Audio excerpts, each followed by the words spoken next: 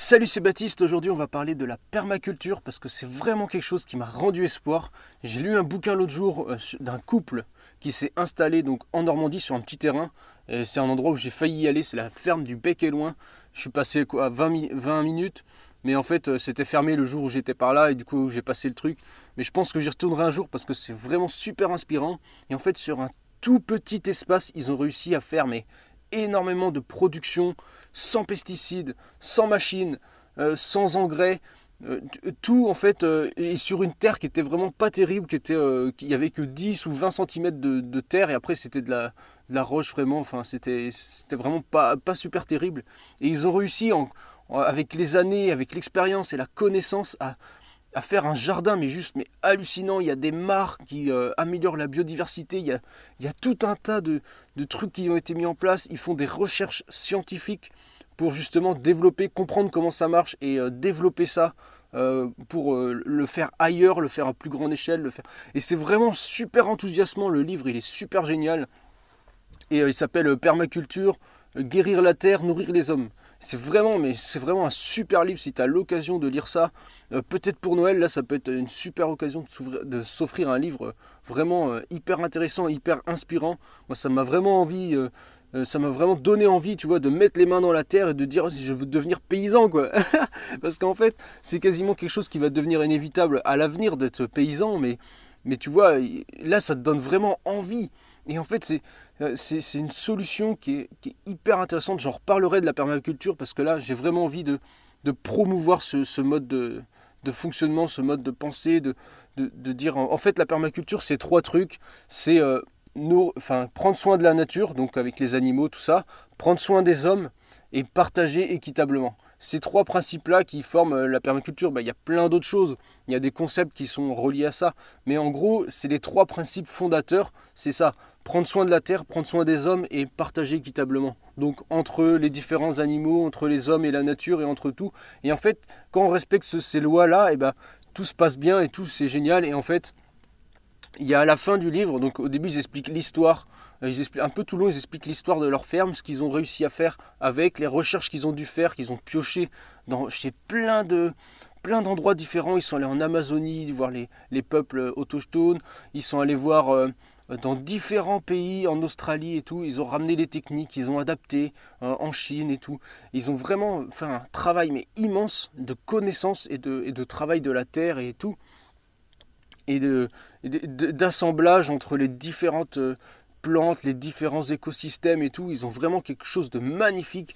Euh, si je trouve, je te mettrai une photo parce que franchement, c'est super beau quoi.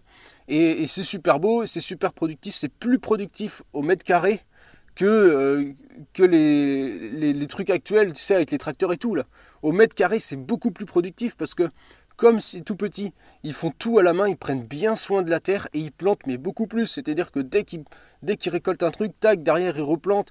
Et en fait, ils font, euh, avec le même terrain, ils font 11 euh, ou 12 récoltes euh, dans la même année. Alors que si tu prends un champ, tu vois un champ de blé, machin, eh ben, ils font sur le même mètre carré, ils font une récolte, peut-être, je sais pas, ou ceux qui font du foin, ils coupent deux fois le foin dans l'année, mais c'est tout.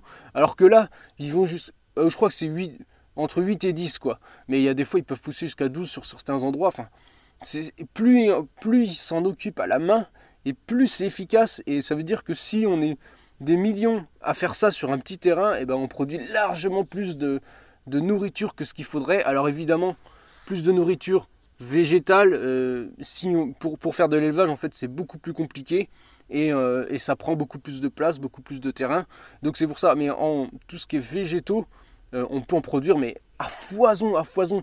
Et en fait, justement, moi je me dis comment moi je peux aider cette, euh, dynamique-là de, vouloir aller vers, ça, vers, euh, bah, vers le, monde du futur, en fait, finalement. Vers, le, futur, en fait, c'est.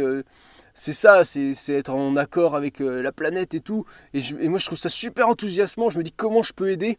Et en fait, bah, j'ai envie de, de, participer à ce truc-là, mais tu vois, j'ai pas de terrain, j'ai pas de, euh, pas de, je sais pas comment faire. Et du coup, je me dis, bah, je vais pousser dans, dans le sens, euh, dans ce sens-là, c'est-à-dire, euh, bah, vers changer les habitudes des gens parce qu'en fait mine de rien être paysan c'est finalement c'est une habitude ou faire vivre le paysan du coin c'est une habitude de faire du local et tout et donc pousser à faire ce truc. C'est déjà ce que je fais, mais je vais vraiment pousser plus dans ce sens-là, plus dans le positif.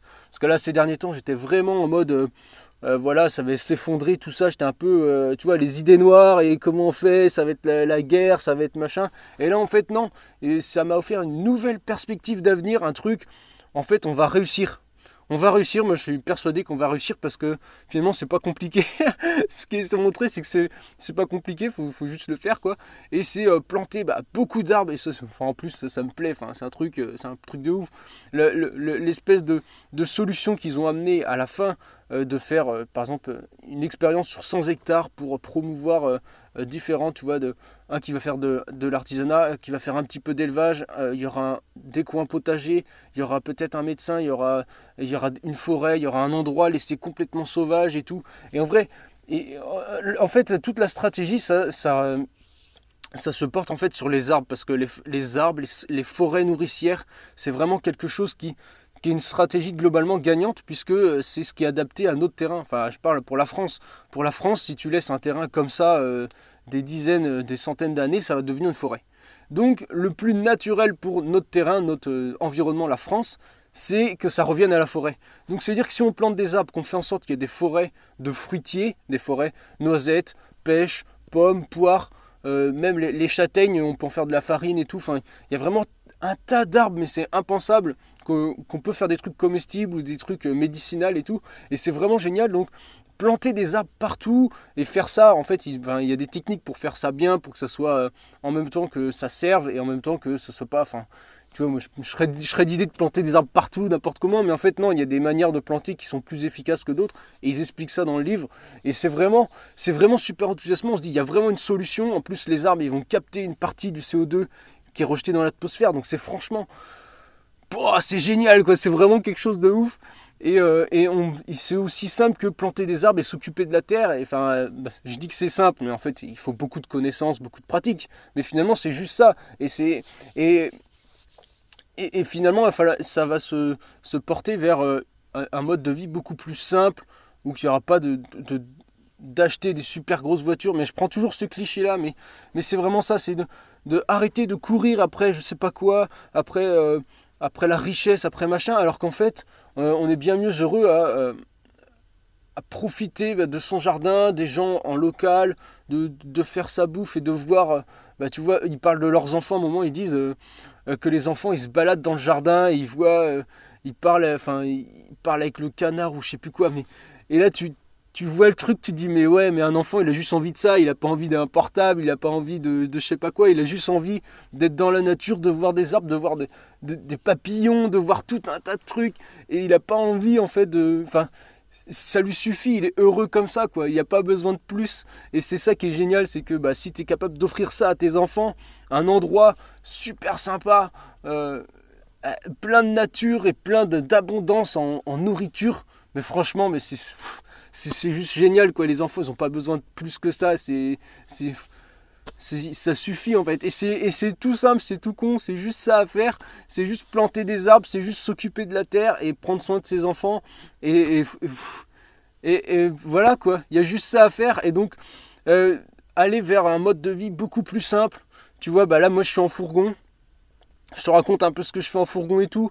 Mais euh, le, truc en fait c'est surtout que c'est plus simple d'être en fourgon, c'est tout petit, donc tu t'en occupes mieux et tout que d'avoir une grande maison qui est immense et que tu dois nettoyer. Et quand tu as fini de nettoyer un bout, bah c'est déjà ça à l'autre et donc t'en finis plus. Alors là, moi, c'est nettoyer en moins de deux et puis ça y est, je peux faire autre chose quoi.